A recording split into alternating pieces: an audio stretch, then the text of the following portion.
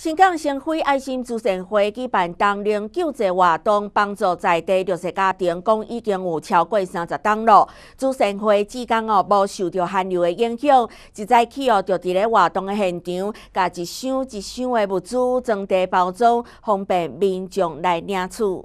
后礼拜就要过新年，阁有真侪家庭等咧为团圆饭欢乐。新港盛会爱心慈善会今年年前将白米、沙拉油等民生物资，加上配合过年气氛，也特别准备烟枪、开心果等丰富的物资，要送予在地需要帮助的弱势家庭。对象就是咱深港乡的比较弱势、收入较歹，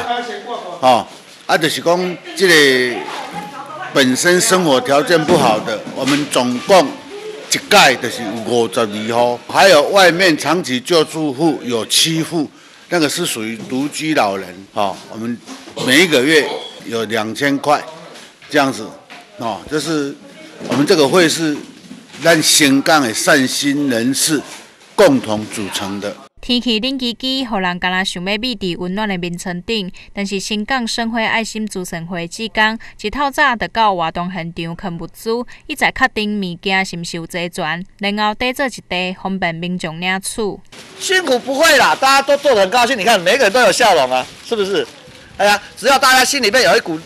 我们那个慈善的心、爱的心，就会有温暖了。只要把温暖送到每一个人身上，我们是就很快乐。徐文柱会长表示，当年救济活动已经举办超过三十年，感谢善心人士甲爱心企业赞助，才当好这有意义的活动一直延续落去。更上重要是，慈善会志工，因为因无私的奉献，才会当甲温暖传出去。多中华新闻叶丰武新港采访报道。